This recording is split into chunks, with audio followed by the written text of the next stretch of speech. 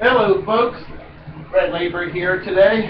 Um, while I'm sitting there talking about um, imminent war, which nobody in their right mind, other than Washington politicians, seem to desire, I'm going to uh, still offer bad news from my perspective, but probably not quite as bad, except for the people of Australia.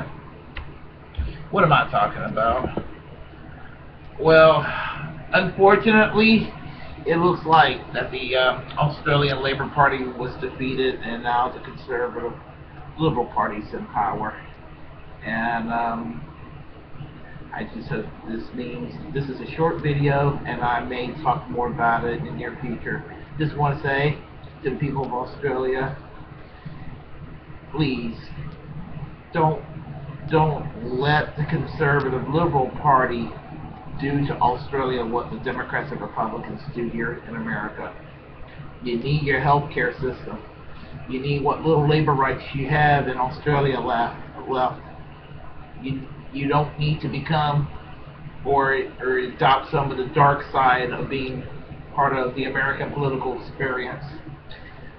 I'm sorry that the Labor Party lost in Australia and they're just not as left wing as they used to be. But um, I there is hope. I guess uh, I have more hope in the Australian Labor Party than I do the Democrats here, and hopefully you guys will have another Gough Whitlam in your hands later on to be a prime minister. So anyway, this is my very ultra short commentary for today feel free to comment, good, bad, or indifference. We'll talk. We'll have a dialogue. Yeah. And anybody, you like my sideburns? yeah. Anyway, have a great day. Take care.